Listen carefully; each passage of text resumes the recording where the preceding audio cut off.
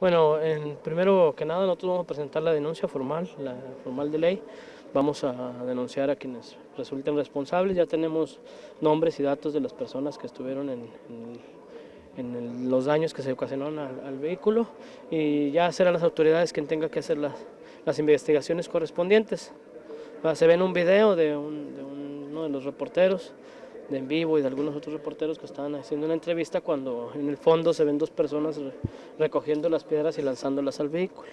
Entonces es público, es notorio el, daño al, vehículo y se va a hacer lo que, lo que corresponde por ley, que es presentar la denuncia y que las autoridades sean quien le dé seguimiento a este, a este hecho. ¿Por qué lo agredieron, diputado? ¿Cómo empezó todo? No, nosotros simplemente íbamos pasando, como lo ven en el video, nosotros no sabemos por qué recogieron las piedras y las lanzaron a nuestro vehículo. No, no yo creo que es un hecho aislado, va personas, yo creo que, que no están bien de sus, facultades mentales, lo pudiera presumir, por, atacar a una persona que no hace nada en contra de ellos, pues no habla de una persona ni una conducta razonable.